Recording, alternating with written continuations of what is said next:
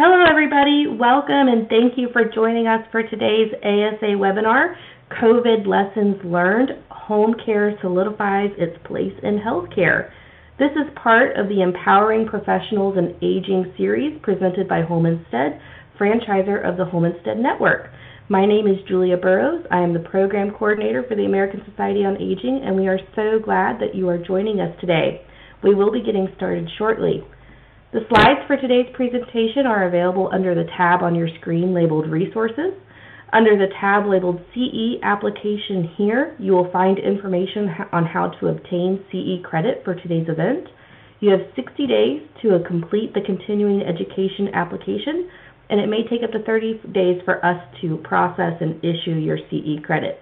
If you are not logged in directly into this webinar, then you will not be eligible for continuing education credit because we do not have any way of tracking your online attendance. To receive CEU credit, please make sure that you are using an individualized confirmation URL that you would receive after you register using your personal email address.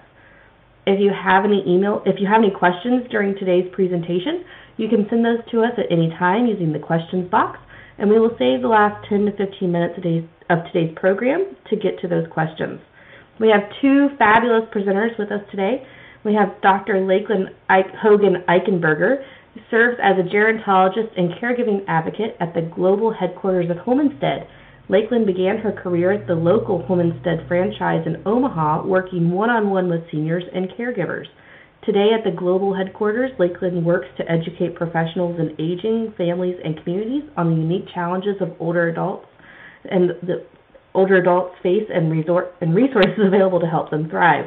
Lakelyn earned a PhD in gerontology from the University of Nebraska, Omaha. We also have Amanda Williams, MSN and registered nurse that has focused her career on value-based care and population health strategies to transform healthcare. She works to design processes that are put in the patient at the forefront of their care journey with a significant focus on autonomy, flexibility, wellness, and prevention. This passion led her to Home Instead, where she is part of the healthcare transformation team at the global headquarters, working to implement strategies that make home care a valuable and strategic partner in the healthcare continuum. Amanda currently serves on the board of directors for Heartland Family Services, a wonderful organization that strengthens the community through advocacy and counseling. Thank you both so much for being here. Thank you so much, Julia. Hello, everyone. I'm so glad that you've taken time to join us for today's webinar. I'm really excited to be joined by my colleague, Amanda. Um, you'll be hearing her, from her in just a bit. Um, so Today's topic, I know Julia mentioned it already, but it's we're talking about the lessons learned from the COVID pandemic. And I'm sorry if you're you're sick of hearing about COVID in the pandemic, uh, but it is important that we reflect on the lessons learned. I know the most recent ASA Generations online journal focused on the impacts of the COVID pandemic. Uh, and so this webinar is in line with some of that great information. If you haven't read that Generations journal yet, please go out and read it. It has such great information in it. And while the pandemic really has impacted all of us in different ways, we want to talk today specifically about how it has impacted home care. Uh, you know, for for years, uh, home care hasn't really been seen as um, a part of the healthcare continuum. It's really been seen as something separate, uh, something non-medical. Uh, so the two have really become separate. But at a time during the pandemic when it was important to keep older adults out of a hospital setting, uh, home care really stepped in to help meet a lot of the health and safety needs of many older adults during that time. You know, and in the home care world, we have known uh, the value of our service for decades. But again, due to the pandemic, home care is finally being recognized as an extension of the healthcare continuum and is becoming more valued by the long term care system. So, we're going to be talking more about this today. And again, I'm excited to have Amanda join us, uh, and she'll be sharing in a little bit about some of uh, her perspective on how the healthcare landscape is changing. But before we dive too far deep into this topic, I wanted to go over the objectives quickly. I'm going to uh, be talking about the impacts of the pandemic on the aging population. It might be a review for some of us, um, but uh, also talk about home care. I think there's still a lot of misconceptions about what home care is and isn't, um, but we'll be talking about how home care can best support aging individuals and their families. We'll talk about the value of home care as part of the healthcare continuum, and then we'll wrap up with some case studies. I think it's all sometimes helpful to kind of see home care in action, if you will, um, and talk about some of the successful partnerships that we're seeing form between home care and various parts of the healthcare continuum. So I mentioned we'll start by talking about some of the impacts that uh, the pandemic has had on the older adult population. I apologize, I didn't realize they were all going to show up one at a time. So I'll click through them all here quickly. Um, but we know that social isolation and loneliness has been a pandemic or an epidemic amongst the aging population far before COVID was ever part of our vocabulary. And I think what's so interesting is that during the pandemic, we all got a little bit of a taste of what it feels like to be isolated and lonely. Uh, but we saw during the pandemic that, you know, older older adults continued to be isolated, continued to be lonely, and in fact, that increased for many uh, due to the public health recommendations uh, to, you know, stay in place, to prevent the spread of COVID, you know, not to go out. A lot of things shut down. Um, and so older adults during this time reported feeling less socially connected, uh, and many said that they were more lonely since the start of COVID 19. We also know that about two thirds of older adults were at high risk of uh, uh, when it comes to COVID 19. Uh, many of them have medical, medical conditions of their own, and then age um, was a risk factor as well. And so, uh, because of that, because of the um, you know maybe the fear, um, the the stresses, many did report feeling you know more stressed about um, you know getting COVID, uh, giving it to someone else uh, their loved ones. And so that really did create some additional stressors and also kind of fed into the, that increased isolation and loneliness. And we also saw the use of technology increase. Um, you know, because of COVID, many many activities became virtual. Um, many of us virtually uh, started going to work uh, and, and, and, you know not being there in person. So we all had to kind of become more uh, comfortable with technology. And you know, there is a good uh, portion of, of the older population that was able to adapt to that, able to use new technologies. But often the older adult needed help with that technology. Many lacked access to the technology needed or lacked internet access. So um, while you know the use of technology was was great for some individuals, there were barriers uh, to virtual engagement for others. If we look specifically at the kind of healthcare of older adults, um, we saw a lot more telemedicine happening. Um, but again, some individuals lacked access to the technology for telehealth and they had to kind of just do phone calls with their healthcare provider, uh, which we know um, create some challenges in and of itself. Uh, and also, some needed help with technology in order to be successful in utilizing telehealth.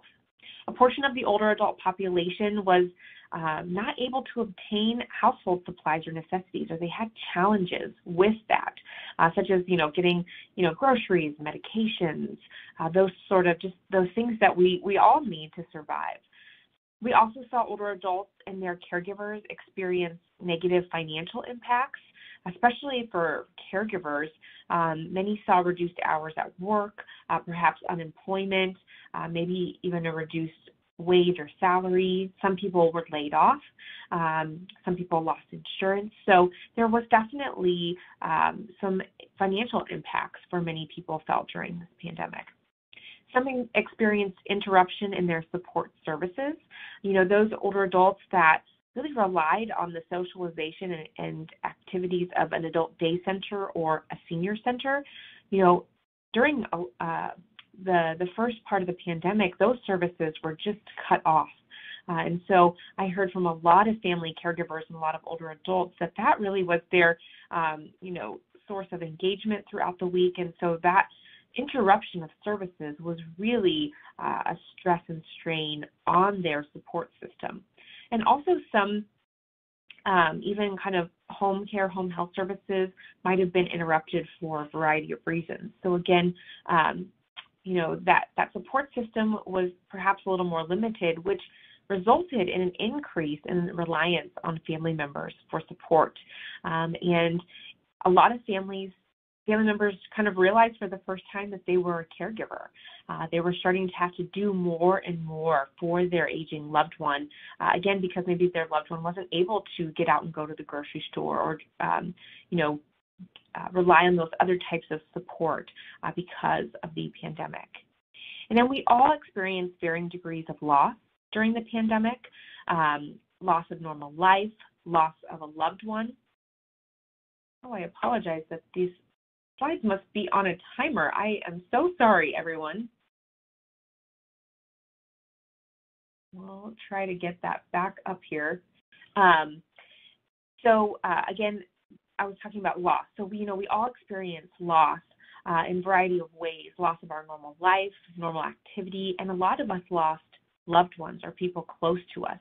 And during the pandemic, you know, our normal uh, bereavement practices, our grieving rituals were were you know not able to take place or they had to look a lot different. And so that is you know challenging going through that significant loss. It's also important to acknowledge that subpopulations were disproportionately impacted by COVID, uh, including racial and ethnic minorities, individuals with disabilities, uh, people in rural populations and, and, tribal populations all were impacted in a lot of these categories more significantly than others. Uh, some additional uh, impacts that we're kind of seeing now that we're about two years out of the pandemic, we kind of feel like life's getting a little bit back to normal. Uh, many older adults still feel kind of fearful uh, of COVID. They're hesitant to jump too quickly back into social life. Uh, and others kind of are, are grieving the loss of two years of their lives, kind of at the end of life, uh, end of their lives, that last chapter, they feel like they were kind of robbed of that time. So uh, I think those are just important considerations for all of us to see and or to think about um, when it comes to the impacts that um, the pandemic has had on older adults. Another uh, impact that we have seen in our industry is, you know, that in- increased desire to stay home. Um, you know, the goal again was to keep older adults out of a hospital setting where the healthcare system was stretched really thin. Hospitals were areas of high risk of transmission of COVID. So again, there was a lot of healthcare being brought into the home, um, and and as a result, that increased it resulted also in an increased demand for home-based services, including home care. Um, and so we're seeing that demand increase um, within our organization. And again, older adults, um, when they're kind of weighing their options of how and where they want to age, we're still seeing a trend towards wanting to stay home as long as possible. But even though um, many of us work in the field of, of healthcare or aging services, there's still quite a bit of confusion around what is home care and what is it not. So I thought that it could be helpful to go over the types of care uh, that home care uh, provides and then kind of talk about how that differ, differs from home health care. Uh, so uh, home care services uh, include things such as personal care services, which is help with uh, kind of bathing, grooming, restroom assistance, mobility care. Some people kind of refer to it as hands-on care. Another important component is companionship. Uh, our, the home care services can combat loneliness and isolation with the regular home care visits. A lot of times, home care is referred to as a sitter service. I hear that a lot, um, and it is it definitely far more than that. But I don't ever want to um, devalue the companionship component because I think that that is such a valuable part of the service, but it is not limited to just that.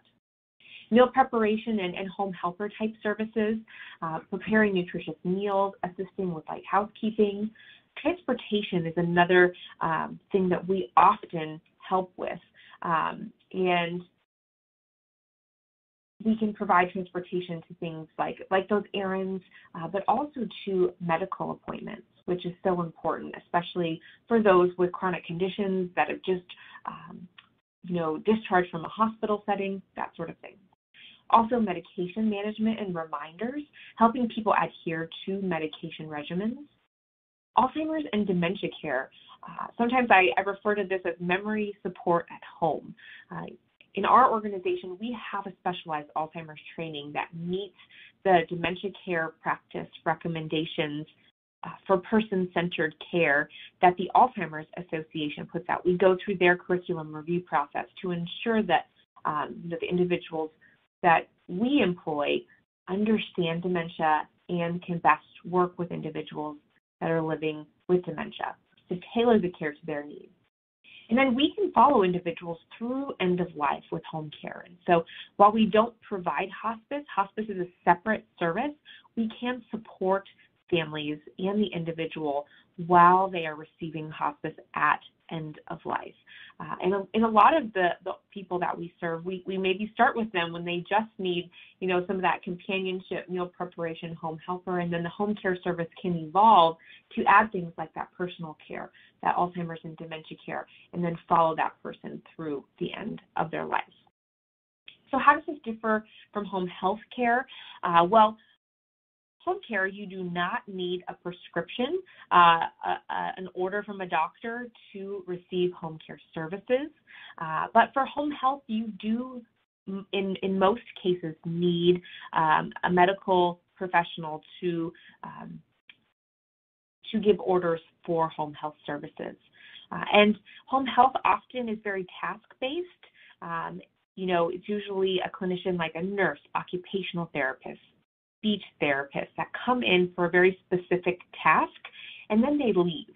Uh, and so often I hear from home health professionals that you know, it, it kind of weighs on their heart a little bit because they'll go in to do physical therapy.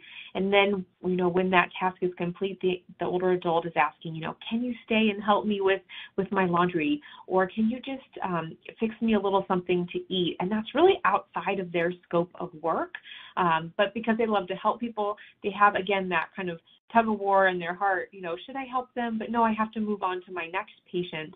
Um, and so that's where a service like home care can really come in and do that wraparound service, get that meal, do that laundry, provide uh, bathing assistance, that sort of a thing.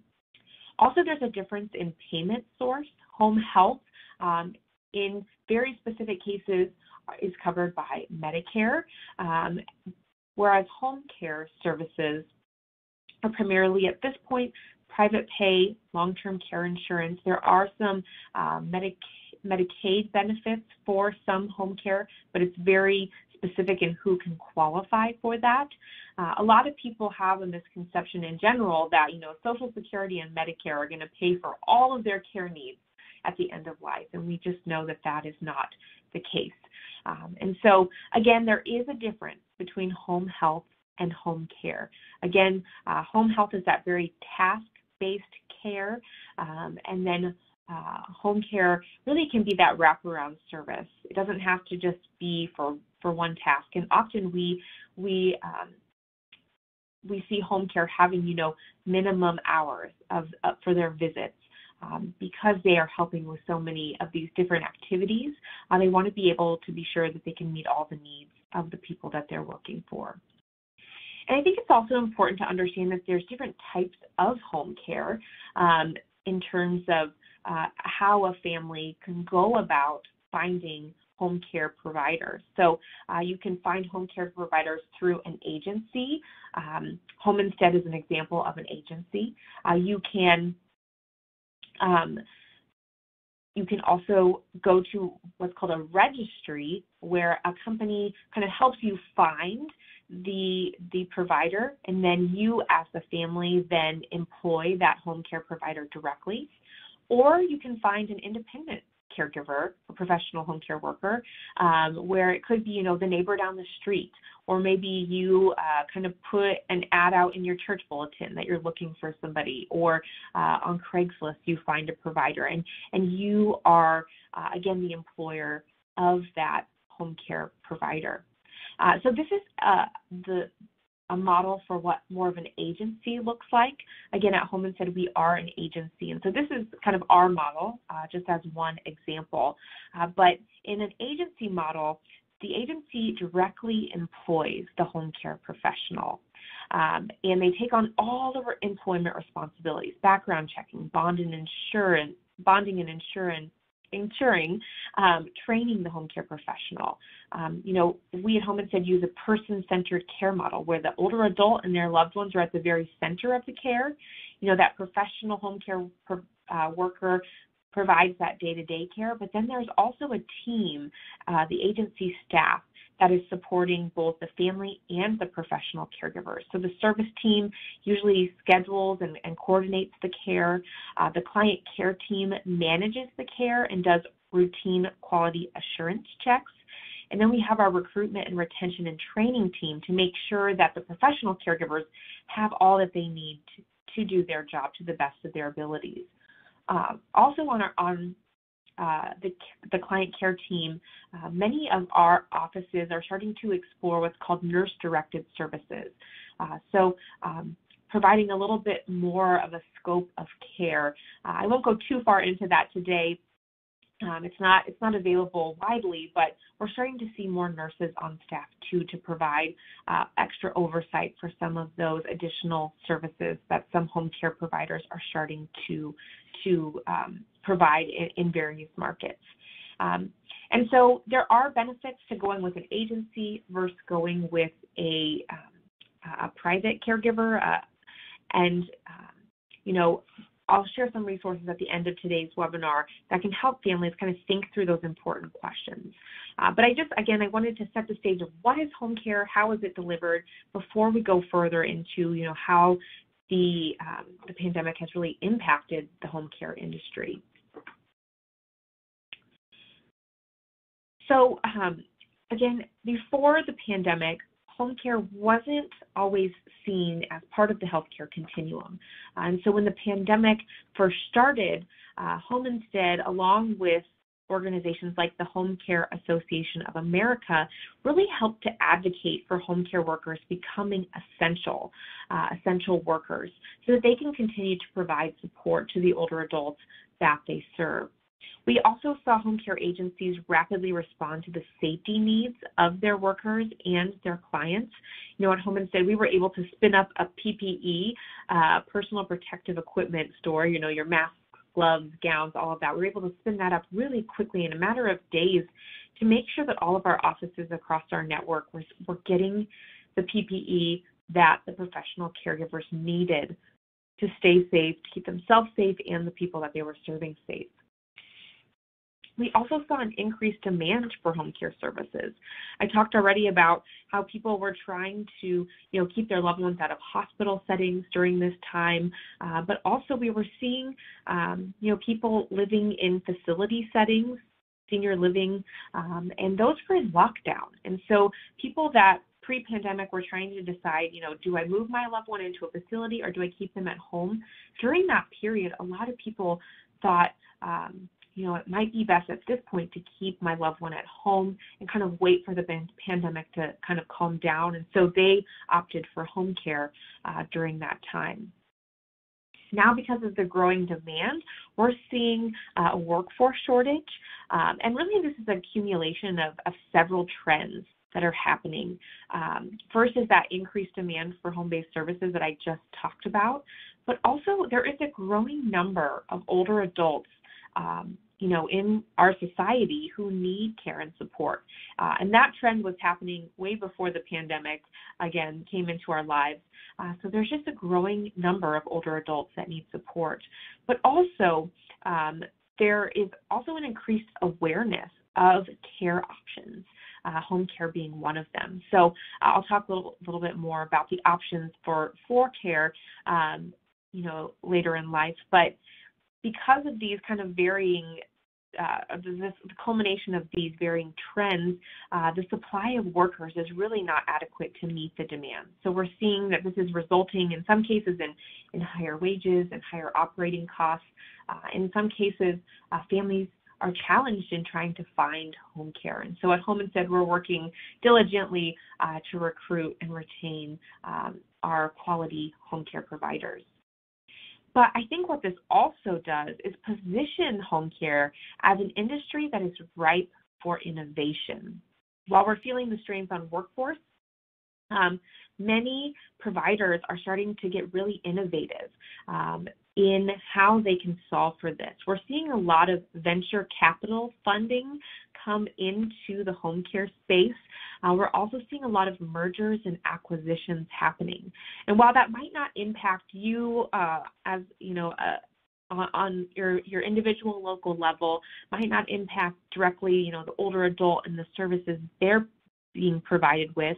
Um, it is kind of just a shift in our home care industry. In fact, Home Instead was acquired uh, in August of last year by a technology based company called Honor Technologies. Uh, we're really looking at innovative ways to become more efficient in our staffing uh, and the utilization of our, our existing workforce and growing our workforce. We're also looking at ways technology can help us be more efficient in the care that we provide in the home. So it's a really exciting time. Um, some people might say, well, how can high tech come in to uh, an, uh, an industry that is so high touch? You know, home care is so personal.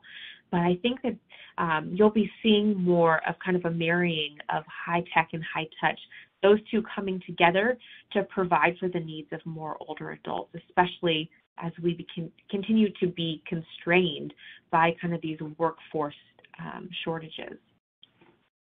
Uh, but we know that home care has many benefits um, to individuals, families, and to society as a whole. We know that home care can enhance emotional well being, it can, can support independence for an individual at home, it can promote social engagement, someone to talk with, someone to listen to their stories. Again, social connection we have learned through this pandemic is so valuable. Uh, we can we can um, provide better care for people living with dementia. You know, having support in the home can help um, ensure that that person living with dementia um, is engaged uh, in their day. Make sure that the the family gets a break from caregiving. We find that providing family family caregivers providing care to an older adult with a type of dementia, they experience more stress and strain than non-dementia caregivers, and so home care can kind of help uh, with those um, those challenges. Um, and also, it allows them to stay at home in their familiar surroundings. Um, you know, if somebody has lived in their home for 30 plus years, uh, they might know where things are and they might be able to live a little more independently for a longer period of time. Uh, it can be an alternative to facility care or memory care, or it can prolong the need to make that move. Uh, but we also acknowledge that there is a point for a lot of individuals where making the move to facility care uh, might be best for them. Uh, but during that period, home care can kind of help ease that transition. Um, we also find greater flexibility and peace of mind for family caregivers. The care is customized to the needs of the older adult and their family.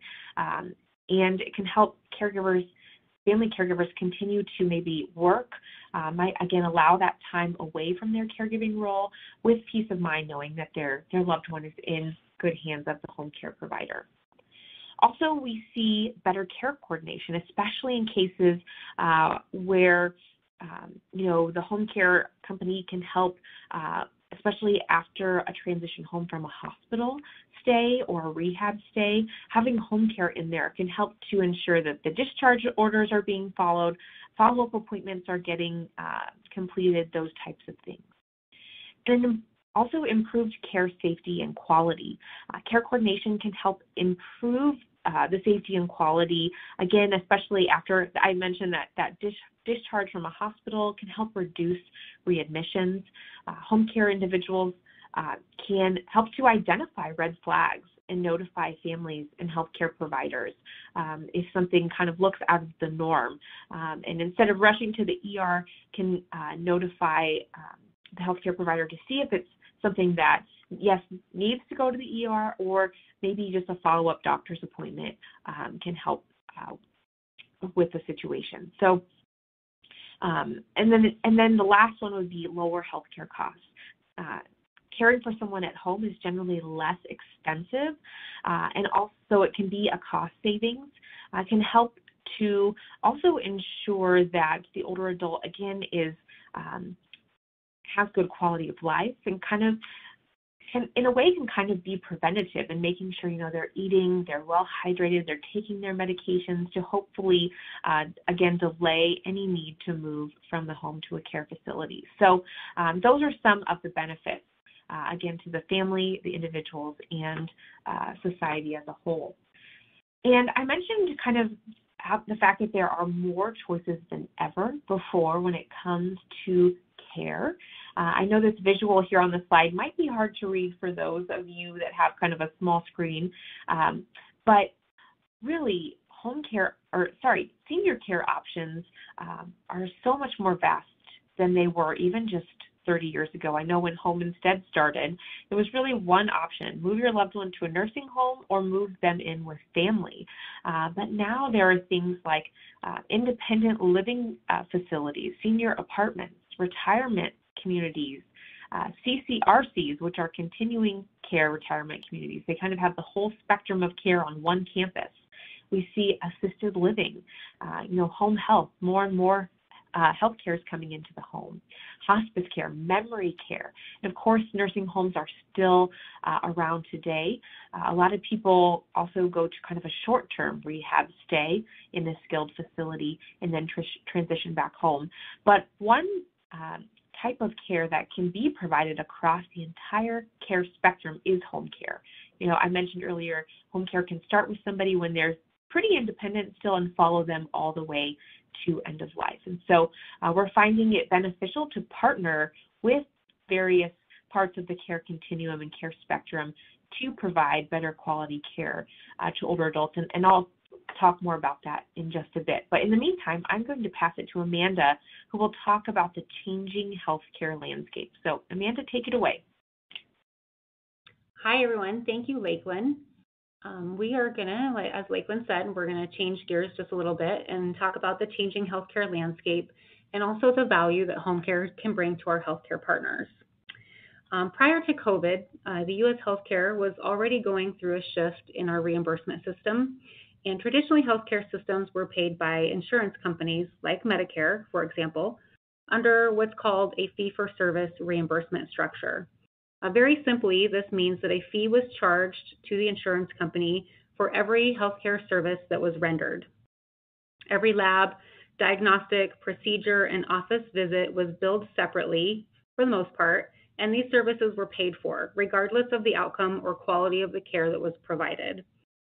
Criticisms of this reimbursement structure was that it created a culture of waste and overutilization. Additionally, overall healthcare costs in the U.S. were very expensive compared to other developed nations. In order to control healthcare costs, legislation, largely started by the Affordable Care Act, was passed to begin moving healthcare reimbursement away from fee for service and towards value based care. This is a shift in volume over value, volume being that um, uh, kind of sense of overutilization with fee for service and value moving towards value based care, where reimbursement is attached to quality outcomes.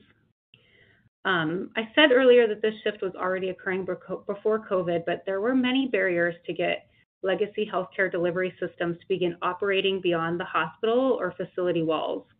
While very complex, COVID created an environment that was ripe for innovation, as Lakelyn said earlier, and helped to further accelerate the possibilities of caring for higher acuity patients in non traditional settings like the home. So, um, with that background on the changing healthcare landscape, let's take a closer look at why care in the home is changing. There are four key factors that are pushing care into the home and at a faster rate than we've previously seen. One of the first key factors is that the US and really the global population is aging. Today, there are more than 46 million older adults aged 65 and older living in the US. In about 30 years, by 2050, that number is expected to grow to almost 90 million, which is nearly double. For context, this is about a fifth of our total population. This is an unprecedented number of aging individuals in our society. The second key factor is that not only are people living longer, but the chronicity for these aging individuals is higher. Our aging individuals are living with more chronic diseases, frailty, disability, and cognitive decline due to conditions such as Alzheimer's and dementia. The third key factor is that older adults just want to stay in their home. Uh, one study showed that nearly 90% of adults over age 50 and across all age, race, income, and health status categories want to remain at home and age in place. And remember, this aging population in the US is primarily the baby boomers.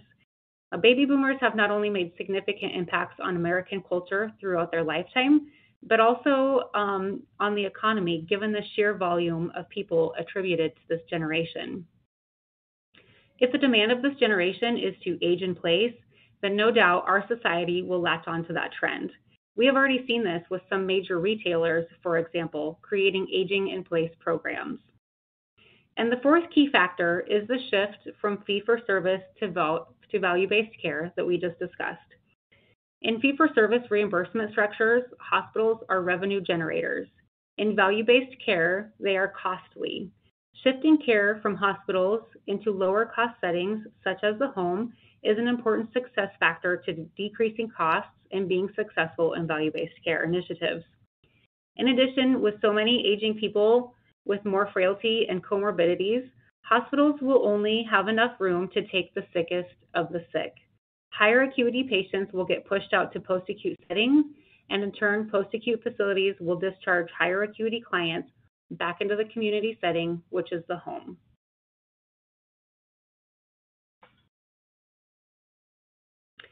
So this leads us back to the future. Home based care has been around for centuries. Prior to and at the start of the 20th century, the home was the predominant site of care delivery. Starting in the 1920s, with innovation in pharmaceuticals, anesthesia, and treatment techniques, the hospital business boomed. Care shifted into the hospital and physicians' offices, and home based care largely disappeared, as well as reimbursement for services rendered in the home. We are now entering a new era in healthcare where care is shifting back to the home but this was proving to be a very slow process, like turning the Titanic, if you will. Getting providers and payers to change legacy, care, and billing practices is no easy feat. It is a culture change that can take years. But during the COVID 19 pandemic, even more demand was put on care at home. Hospitals suddenly, very suddenly, lacked capacity for many patients in need of care, leading to a stark choice between delaying care or finding a means to deliver it more effectively and efficiently in the home. Capacity challenges were compounded by many patients' fears of going to medical facilities where they could be where they could potentially be exposed to the COVID-19 virus. They wanted to be safe and not leave their home. Many even compromised their health for fear of exposure of COVID-19 infection. One national survey found that 80% of respondents said they were likely to use home based care services, and of those, 30% said they were highly likely to do so. In many ways, we feel COVID 19 has shined a spotlight on home based care services that are likely to deliver a permanent increase in demand for home care. Since the start of the pandemic, many aspects of care have been forced to move in home since many hospitals are focusing efforts on COVID 19 patients and have since cleared beds and even entire units as a whole to meet the demand for these patients. With the risk of infection while going to a hospital or care facility, many patients have opted to skilled professionals to have skilled professionals visit them in their home, especially with the number of outbreaks in nursing homes and assisted living facilities. Another reason for the increased demand for home care services is affordability. Since the start of COVID 19, we've seen quite a bit of economic turmoil. This has forced many to seek more affordable forms of care, which home care has often been recognized as. Now let's discuss how home care supports healthcare systems during the pandemic and even beyond. If you put healthcare on a continuum, you can identify three major spaces, the pre-hospital, the hospital, and post-discharge or post-acute space. Home care can support patients in all of these spaces. In the pre-hospital phase, our services can provide assistance with managing at-risk and rising risk populations. This is especially important to those that are participating in at-risk value-based care contracts. We can bring value by assisting with adherence to treatment plans for chronic disease management. We are in the home, so we can assist with necessary in-home safety interventions, such as modifications in the bathroom for toileting and bathing assistance, or even something as simple as ensuring the rugs on the floor are not creating a fall risk. When one of Home Instead's clients is, admit, is admitted to the hospital, we can assist the acute care team and even the primary care providers team with key insights into the patient's home environment. We can provide information on family dynamics and behaviors and barriers in the home that may be detrimental to, to the patient's health and wellness after the hospitalization. From a post discharge perspective, we can assist with all of the important non medical interventions that ensure a safe and successful transition back to the home environment. As you can see, home care is an important service that can bring valuable outcomes across the continuum of care. And Lakelyn touched on this, and I'd like to just kind of go back and review this topic. I think it's really important to note what differentiates home care from home health care, as these often get confused. Um, home health care really focuses on the medical aspects and sometimes the ADL support um, they're not in the home continuously, and again, you, the patient must qualify for um, home health care. Um, but they also don't support all of the wraparound services that we provide, such as laundry, housekeeping, grocery shopping, and transportation to physician visits, as Lakelyn previous, previously mentioned. And really, really feel like this picture captures the unique and personal touch we provide in home care. Not only can we provide like the hands-on assistance with activities of daily living, but our care professionals provide companion for our clients as well. For some seniors, the aging process can feel lonely and isolating, especially when the loss of a significant other occurs. Imagine a senior who lives alone, always having a companion to eat a meal or run errands with. This companionship can be life-changing for our clients and not only do our services provide companionship for the client, but they can also offer respite for the primary caregiver in the home. It is not uncommon, and actually will become more common, that we see frail and elderly people caring for their frail and elderly loved ones in the home. This idea of respite care for the primary caregiver is another important extension of our services that healthcare does not provide for today. At Home Instead, we strive to expand the world's capacity to care. That is our mission. For a growing population of patients, the transition from hospital to home is an important turning point in their health and safety. When a patient leaves the hospital, physicians and nurses advise them through a list of, through a list of discharge instructions that include follow-up appointments, therapies, new medications, and sometimes changes to diet and exercise. When I worked in the hospital setting, we spent a great deal of effort to improve a patient's readiness for discharge. Most patients want to return home, but their readiness and capacity to learn about the new treatments is often limited during such a busy and stressful time. Patients receive a lot of new information in the hospital, and that can be very overwhelming. It's important to note that researchers have learned that transitions in care do not, occur solely during discharge planning at the hospital. It occurs for weeks and sometimes even months after the transition from facility to home. Patients must establish new self care routines and find ways to integrate those routines into their daily lives. As they integrate the new routines, problems can arise and they may need additional capacity to care for themselves in the home. Having a companion in the home to help bridge this transition can be a critical su success factor to avoiding a readmission. Home Instead care professionals can provide important medication and therapy reminders and ensure adherence to follow-up visits when patients may not be able to drive themselves. And just as importantly as supporting a transition of care, we can assist with chronic disease management, even though we focus primarily on non medical care. Your patients live 90% of their lives in their home environment. Their engagement with healthcare occurs only for a fraction of their lifetime. Therefore, having an ally in the home to assist with change management behaviors is crucial to lessening the progression of chronic disease and tightly managing that condition to avoid exacerbations and thus ED visits and hospitalizations. You can see on the slide different ways home instead services can support chronic disease management through adherence to treatment plans and medications, escalating observed changes in condition, and even accompanying patients to post-discharge follow-ups. The myriad of services we can provide support the treatment and education that is given to them by healthcare professionals like each of you. Think of us as an extension to your care team, your boots on the ground, field ops in the home. And I'm going to go ahead and turn it back over to um, Lakelyn, and we will walk through some case studies. Thank you so much, Amanda, uh, for walking us through um, kind of the changes that are taking place in the healthcare landscape and how home care is starting to kind of fit in more frequently to um, the home care con- or the healthcare continuum. It's really again solidifying its place. So.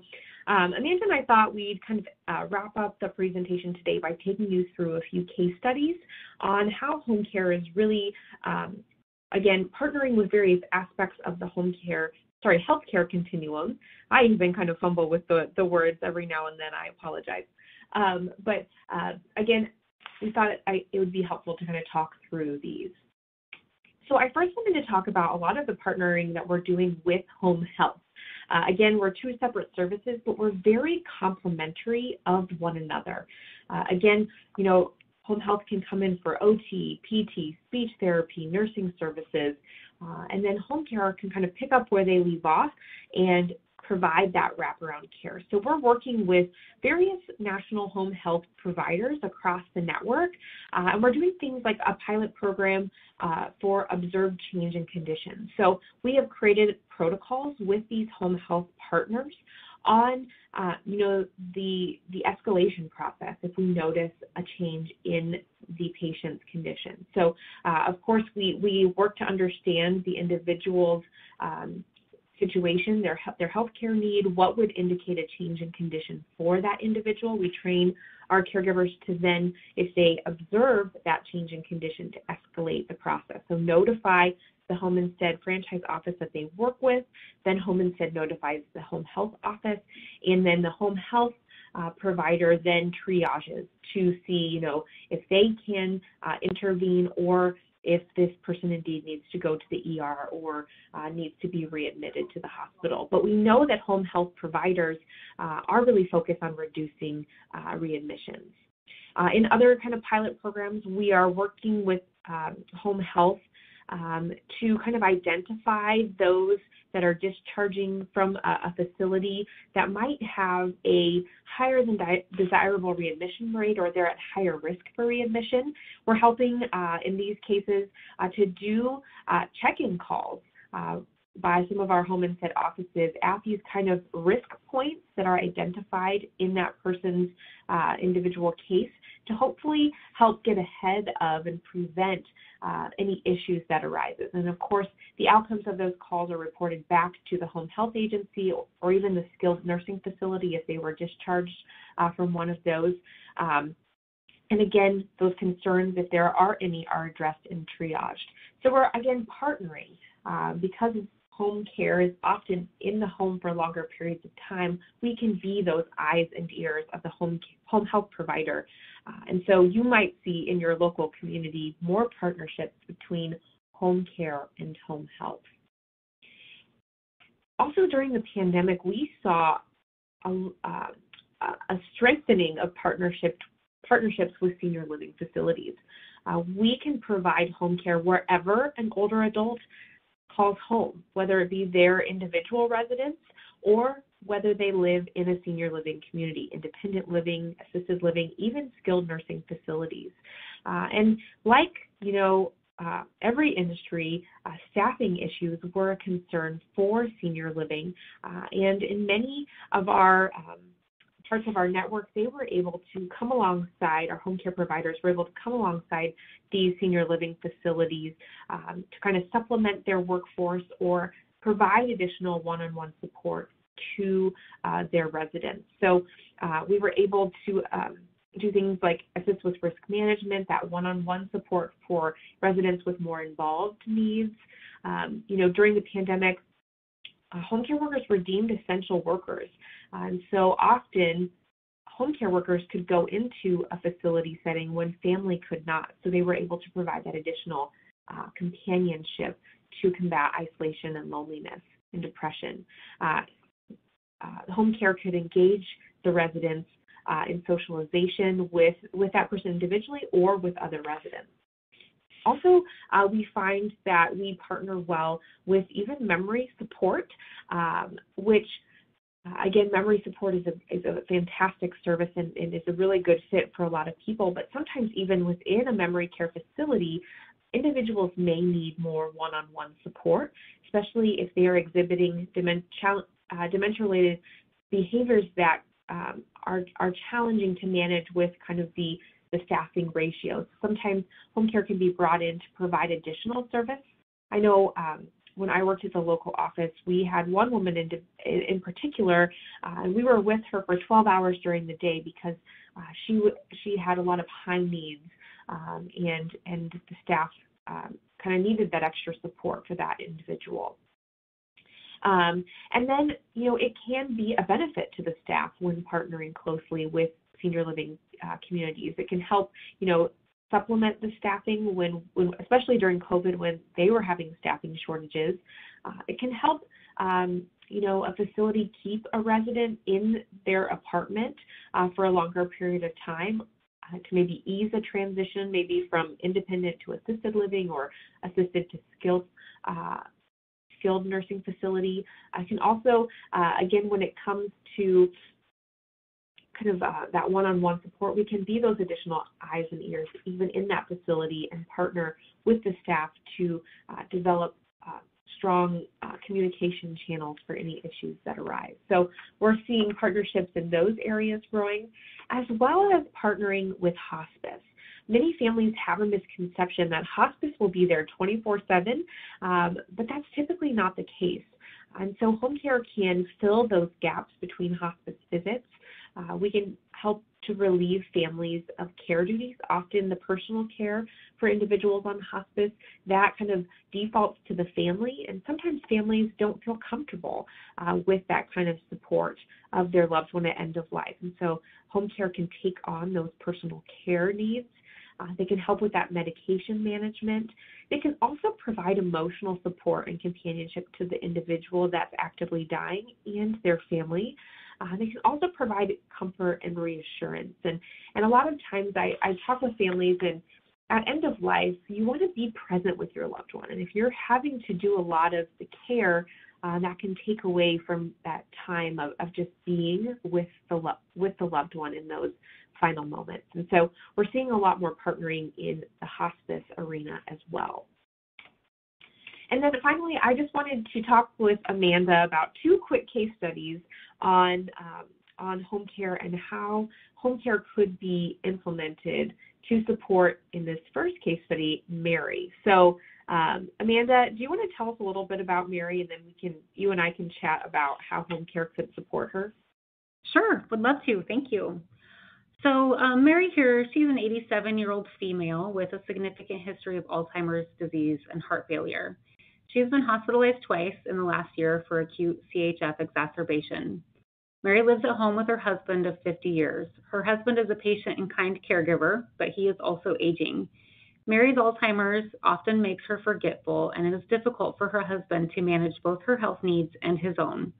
To keep their loved ones in their home, the family partners with Home Instead to care to have a care professional provide several hours of assistance to the couple on weekday mornings.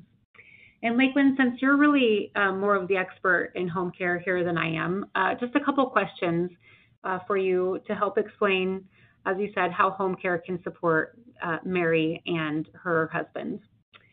Um, yeah, so tell me, all right, great. So tell me a little bit about how having a care professional in the home can help alleviate um, some of the caregiver role strain that her husband may potentially be feeling? Yeah, that's a really good question because we often see couples uh, in the care that we provide. And, uh, and so in this case, the care professional could really start to help Mary with her morning routine. So that's not all falling on the husband. Um, they could help with some of her personal cares, maybe help her with a shower, with her hair, getting dressed in the morning. And then also, uh, because especially uh, at Home Instead, we have training on Alzheimer's and dementia, um, we train our caregivers to really get to know the person's routine and anticipate their needs.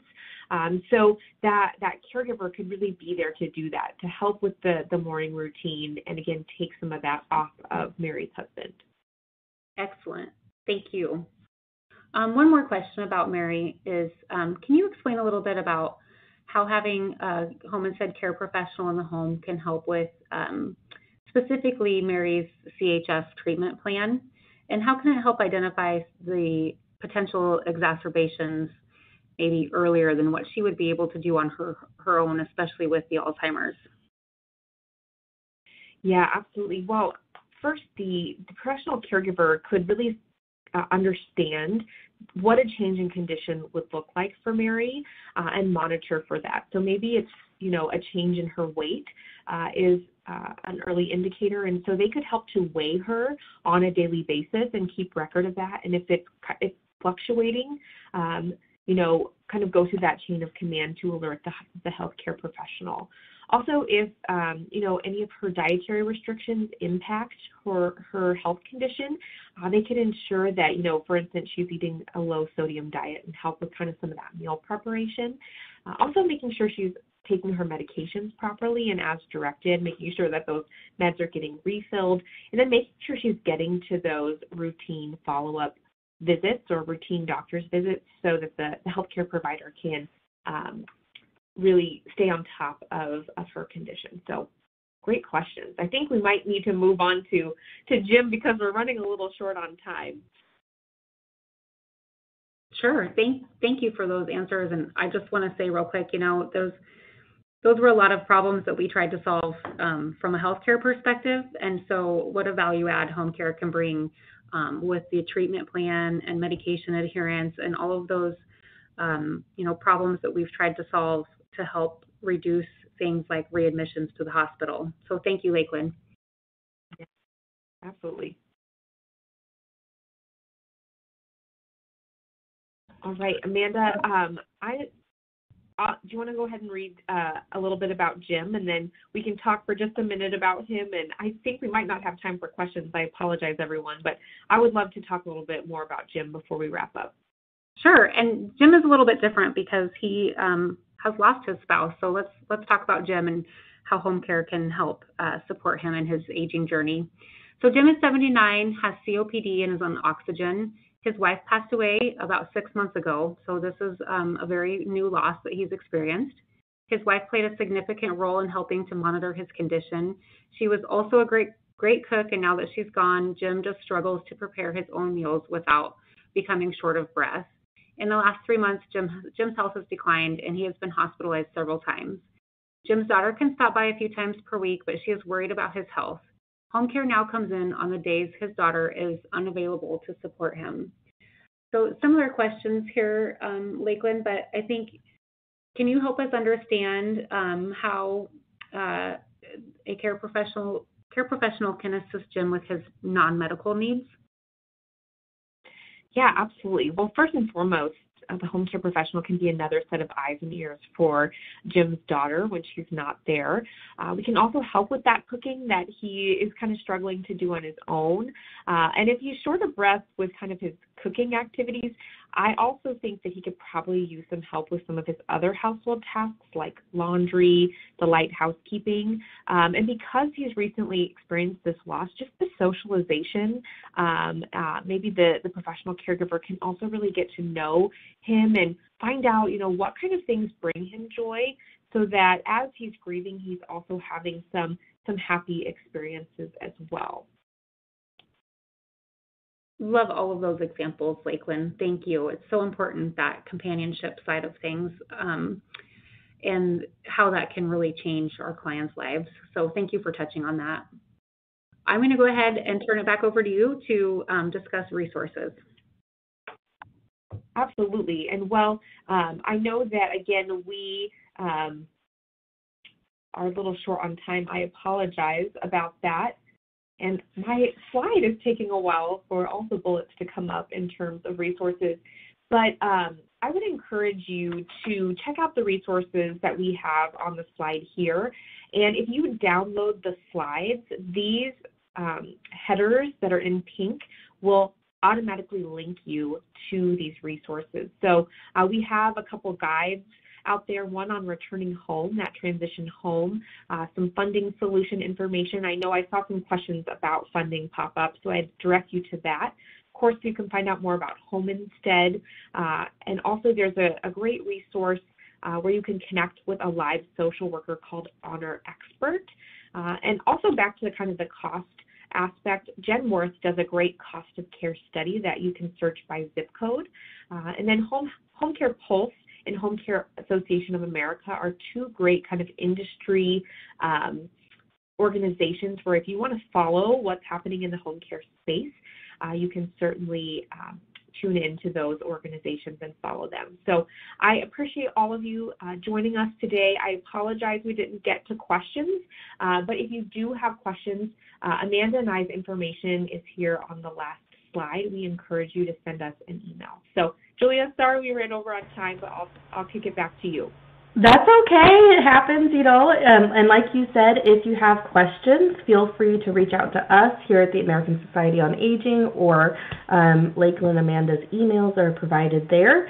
You will also get an email today by the end of the business day with a link to the CEU application.